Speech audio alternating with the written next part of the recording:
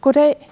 Mit navn er Anne-Marie Maj, og jeg har fornøjelsen af at øh, fortælle jer lidt om det, jeg arbejder med forskningsmæssigt, nemlig tendenser i den øh, nyere litteratur. Og jeg vil gerne begynde med en meget lille bog. Den ser sådan her ud, og den er faktisk kun på 10 sider. Og så kunne man jo tænke, det var noget, man hurtigt kunne blive færdig med. Den er øh, skrevet af Peter Adolfsen, og den hedder 1 million historier. Og som sagt, ja, den er jo lille, men det viser sig, at det vil tage en rigtig lang tid at læse den, fordi den er nemlig, som titlen siger, så er den en million historier. Og øh, det kommer frem sådan, at øh, de her 10 sider, de er jo delt op i en hel masse strimler, og dem skal man give sig til at kombinere som læser, og så konstruere sig frem til historierne. Der er mulighed for en begyndelse, noget midte, og så selvfølgelig en, øh, en slutning. Så man kommer altså på arbejde som læser og må lege lidt med, øh, med bogen her for at, at få den læst. Og øh, det viser sig, at det vil tage næsten 700 øh, døgn at komme igennem samtlige kombinationer. Så der er altså noget at tage fat på. Og nu kan vi jo, øh, øh kan jo starte lidt med at lege og vælge et tal her af en af strimlerne og sige, det er så min begyndelse. Og den lyder sådan her. En fuld mand stod i en bank på et ben. Manden Henning arbejdede i banken og skulle bevise for sin mistænksomme chef, at han var ædru. Det gik sådan okay, fordi. Og så skal vi jo altså vælge videre og lege med på Peter Adolfsens øh, bog her, En million historier, for at få, få læst og konstrueret de her øh, historier. Og øh, man kan også lege med bogen på internettet. Den ligger nemlig på et øh, internetsted, og øh, så kan man selv kombinere sig frem. Og det er måske meget typisk for de nye forfattere, at de øh, egentlig arbejder både med bogmediet og med andre medier, andre elektroniske medier især. Det er, er, er meget populært i den nyere øh, litteratur. Øhm, Adolfsen han har hentet inspiration øh, til den her bog Øh, i 1960'ernes øh, litteratur, nærmere betegnet og helt præcist hos en herre, der hedder Raymond øh, Raymond Queneau, øh, som øh, lavede nøjagtigt øh, et tilsvarende eksperiment i 1961. Så det er altså simpelthen forlæg, Raymond Queneaus øh, bog, er øh, forlæg på, for Peter Adolfsen.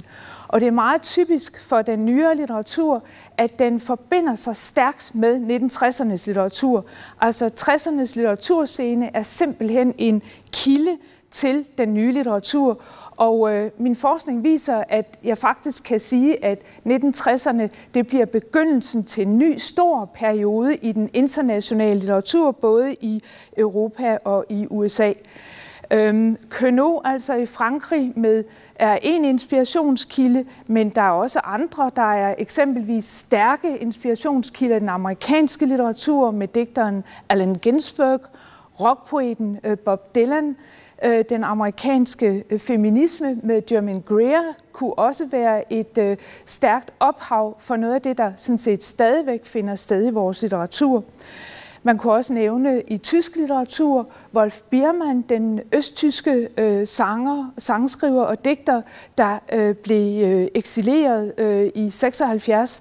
Han er også en af inspirationskilderne.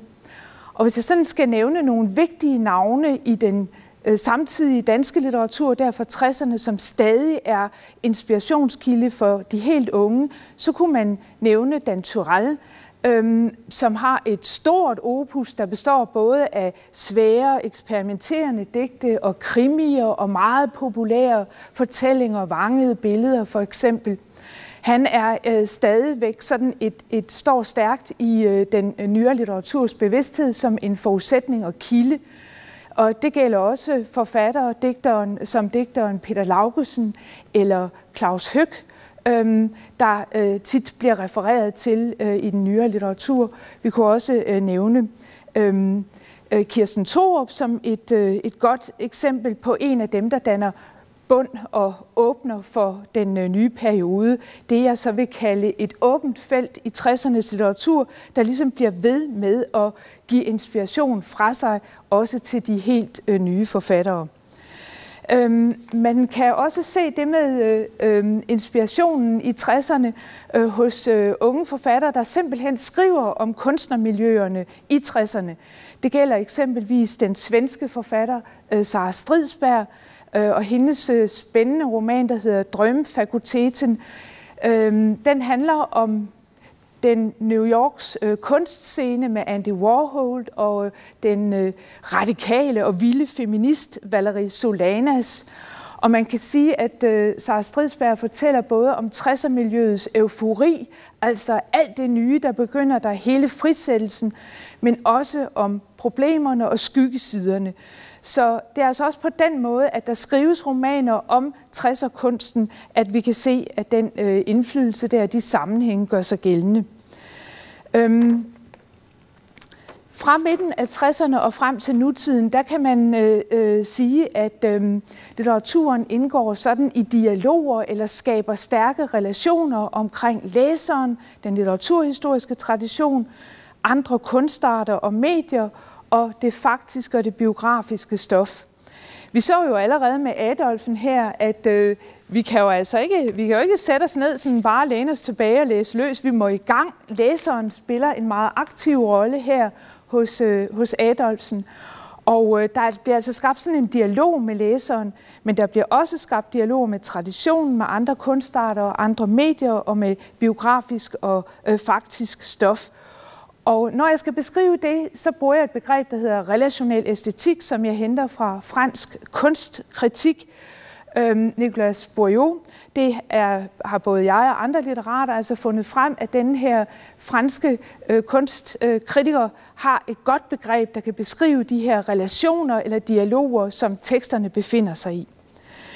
Og øh, jeg vil se lidt nærmere på øh, relationen til traditionen allerførst.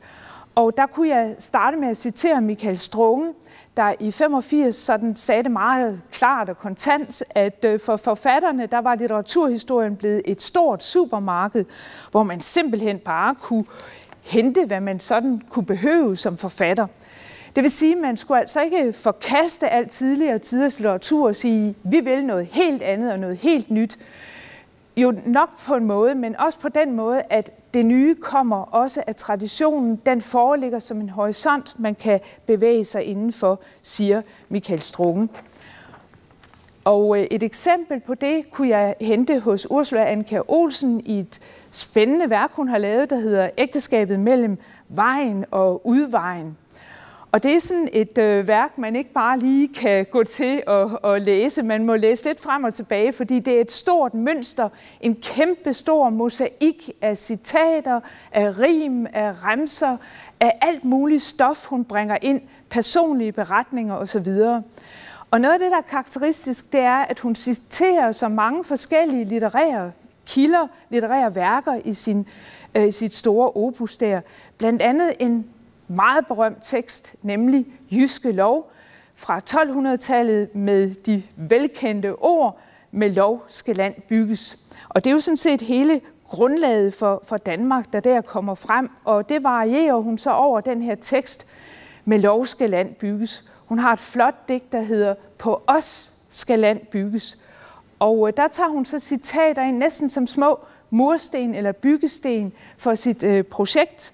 Og blandt andet altså med lykke og lyse netter skal land bygges, skriver hun. Med i Danmark er jeg født, skal land bygges. Så der er, bliver lagt sådan små sten ind, og der bliver spurgt til, hvad vi skal bygge på i fremtiden.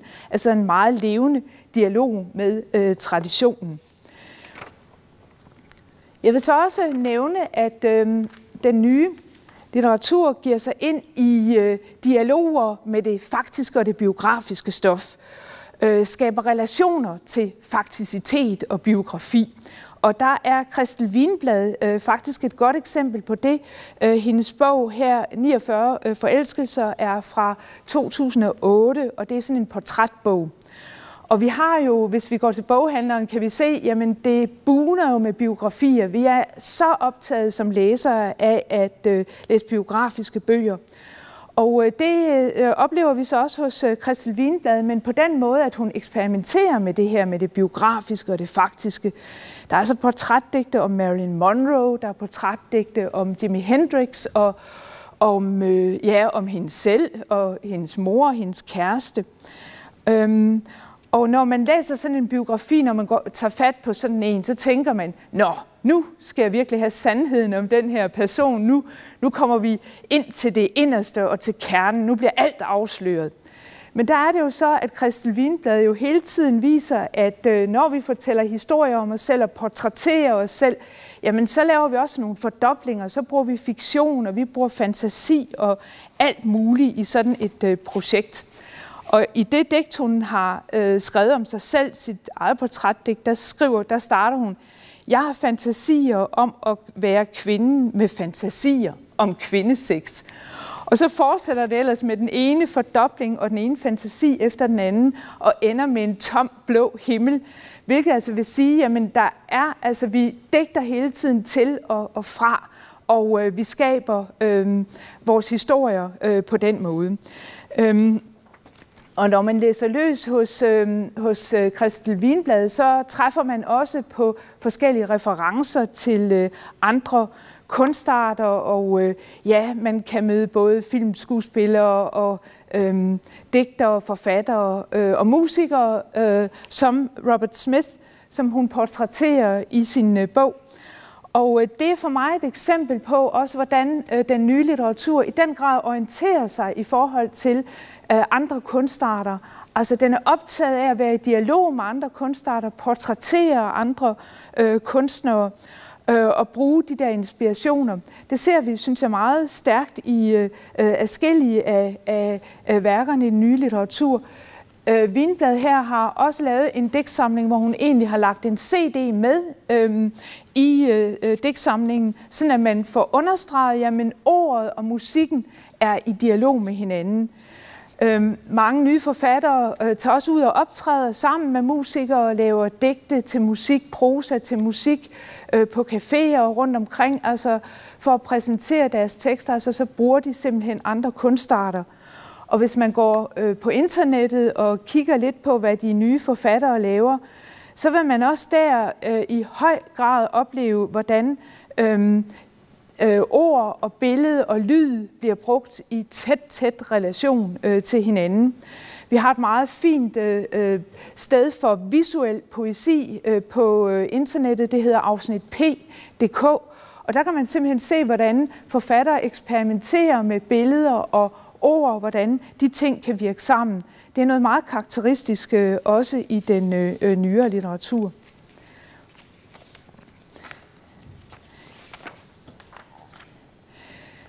Nu har jeg talt om sådan de historiske kilder, og jeg har øh, forsøgt at gøre det klart, at øh, for mig at se, så begynder en ny stor periode i øh, litteraturens historie i midten af 60'erne, og øh, der er hele tiden ligger det som en, en vigtig klangbund øh, for, for det nye. Der er dialoger tilbage til øh, de her forudsætninger.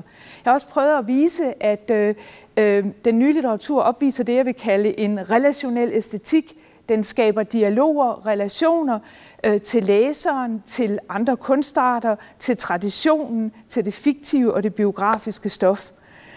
Og øhm, nu kunne jeg så godt tænke mig at se lidt på, jamen, hvad er så temaerne? Er der nogle karakteristiske temaer, der går igen i den nyere litteratur? Og det er der helt bestemt. Øhm, og det første, jeg vil pege på, øh, det er et tema omkring samfund. Og der kan jeg jo så vende tilbage her til øh, Ursula Anker Olsen, Øhm, og sige, at der er øh, sådan tematik omkring, hvordan vi lever med hinanden, hvad det er for et samfund, vi lever i, det dukker stærkt op i den her ægteskabet mellem vejen og udvejen. Indimellem citerer hun også sådan direkte politikers øh, udsagn, kommer med sådan nogle små sentenser, de har sagt, og endevender dem. Og øh, i det her øh, store digt øh, på øh, Os skal land bygges, øhm, der slutter hun faktisk med at spørge til, jamen, hvad er det for et samfund, vi har fået skabt, og øh, skal det bestå? Og der er sådan en lidt øh, barsk slutning, hvor hun siger, med måske skal land bygges, måske skal land bestå. Altså hun vil virkelig have os til at tænke efter over, hvad det er, altså hvad er det for et samfund, vi har skabt, øh, og hvordan lever man der som menneske. Og det er altså et, et, et stærkt tema i den nyere litteratur. Vi kan også se det hos øh, forfattere som Kirsten Hammann, Lars Frost, mange, mange andre arbejder med det. Der er også et stærkt tema, der drejer sig om familie og opvækst. Øh, Lone Aburas her har lavet en øh, utrolig morsom og underholdende debutbog, der hedder Føtex Søen, som handler om familie og opvækst, øh, og det at være barn i Høje Tostrup i 1980'erne og vokse op i en dansk-egyptisk øh, familie. Øhm, hun øh, fortæller øh, øh, løs om en ung piges tanker, hendes måde at opleve hele øh, verden på. Og øh, man skal netop hæfte sig ved, at man skal have indtryk af, hvordan tænker sådan et, et, et barn, og hvordan tænker sådan en ung pige. Og nu er vi jo så der i 80'erne og 90'erne, og der var der jo sådan noget, mange børn ønskede sig i 80'erne, nemlig en sodavandsmaskine. Så den dukker også op øh, i den her øh, roman, og øh, Lone Abora skriver blandt andet, Jeg var barn af 80'erne, der blev til 90'erne, og vi havde stadig ikke fået den sodavandsmaskine og det marmorbord, man kunne ønske sig. Det er jo meget flot gjort det her i sådan en sætning at skabe et lille tidsbillede af en barndom og en opvækst. Og det synes jeg, det er en kvalitet i øh, meget af den nye litteratur. Den kan det, at den kender sine virkemidler og bruger dem øh, så, så stærkt.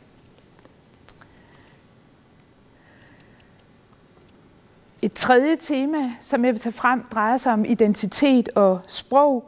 Øh, Josefine Klogards roman Stigninger og fald er fra 2010, og den handler også om en 80'er barndom, men øh, der får vi lagt vægten på beskrivelsen af, hvordan sproget er utrolig vigtigt for den identitet, vi danner som børn og store børn og, og øh, unge. Øhm, Svend Madsen, forfatteren Svend Aage Madsen, har jo engang sagt, at vi mennesker er de historier, vi tager til os.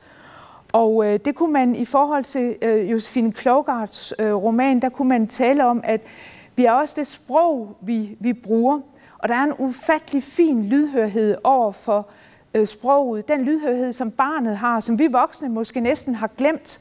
Men man kan høre, hvad der bliver sagt og ikke sagt, og man bruger altså og danner sin identitet ud fra det. Øhm, barndommens ord former identiteten. Øh, indimellem så dukker der sådan også nogle skarpe sætninger op. For eksempel siger det, hedder det et sted, at ordene er klæge som småkagerne ved mormors begravelse. Og det tegner jo også et, et stærkt billede af en lydhørhed over for sproget. Et tema, der også dukker op, øh, er hjemstavnstemaet, og der vil jeg nævne øh, Erling Jebsens bestseller Kunsten at græde i kor fra 2002, hvor han fortæller om sådan en øh, barndom øh, i 1960'erne. Der er vi så tilbage ved øh, i 60'erne igen. Og der er tale om sådan en moderne hjemstavnslitteratur. Jeg sætter den lidt i gåseøjne, fordi det er ikke sådan nogen besyngelse af en lykkelig tabt verden. Det er også skyggesiderne, der i høj grad kommer frem i øh, den skildring, som øh, øh Erling Jebsen giver af den lille sønderjyske by her i 1960'erne. Den her nye litteratur, jeg har præsenteret, øh, den placerer sig i en læserkultur, der også er i forandring. Øh, parallelt med, at de unge forfattere, de skubber til læserne og vil have os i gang og til at tage del, sådan som øh, Adolfsen øh, vil med sin en million historier. Parallelt med det, så bliver læserne også ganske meget optaget af selv at skrive. Der er rigtig mange læsere, der i dag gerne vil skrive noveller og digte osv. og tager på forskellige kurser for at få lov til at prøve sig af på skriveværksteder, på højskoler og på universitetet. Og så kan man spørge sig selv, er der ved at gå sådan en x-faktor i øh, litteraturen? Er det det, der er tale om? Og øhm, det kan godt være, men jeg tror nu også, at øh, det hænger sammen med, at det at læse og skrive i den nutidens læsekultur bliver knyttet tættere sammen, end øh, vi har set det i øh, mange år. Ja, jeg vil lige øh, slutte her med øh, Adolfsen. Nu fik vi hans begyndelse, så jeg vil tillade mig lige at tage hans slutning med. Og jeg vælger mig en. Jeg vælger mig tallet nummer 8 har i hans bog. En tyk bog af alverdens kloge hoveder. Han tog hende i favnen og stod helt stille til deres hjerter havde fundet samme rytme så rev, rev hun sig løs med et din klammerik. Og øhm, ja, det er jo næsten en ny historie, der begynder. Og sådan er det, når man færdes i den nye litteratur. Man får lyst til at følge de mange spændende historier, der der er at gå på opdagelse i. Tak.